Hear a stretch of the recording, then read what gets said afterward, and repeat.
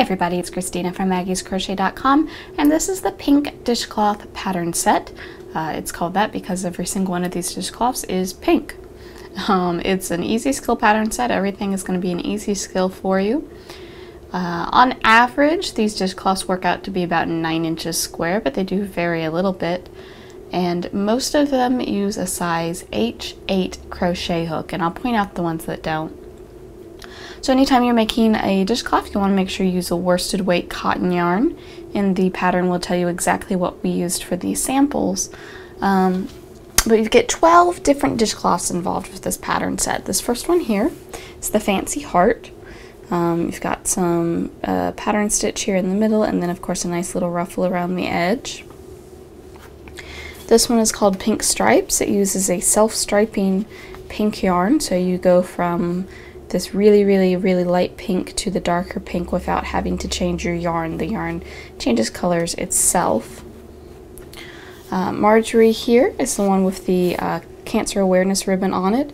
Now for the ribbon they did use a size G6 hook so you'll need that and the size H8 hook for this one. This one is Simply Pink worked in the uh, back loops so you get these nice ridges, which is always great in a dishcloth to have some nice texture to it. This one is ruffled square. It's worked from the center out and it's got this nice ruffle on the uh, for the edging. This one is called tram lines and you have these great little uh, popcorny cluster stitches here.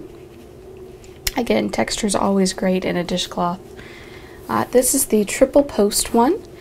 It uses uh, front and back post stitches, which are explained in the pattern.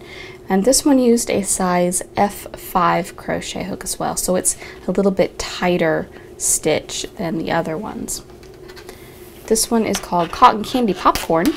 Kind of looks like cotton candy, and you've got all these great popcorn stitches, these little baubles here. Shaded Shells uses a shell pattern. Textured stripes, in each of these little stripes you've got these little baubles here. Again, texture, dishcloths, great combination there. This one is Lacy Delights. Nice and solid in the middle there, and you've got some um, open work here on the edges. And then the last one is This Little Piggy. Super cute uh, little pig dishcloth there for you. So again, these are all easy skill patterns. Um, you get 12 with the pattern set, so you'll have plenty for your whole kitchen. It's pattern number PB168, and you can find it at maggiescrochet.com.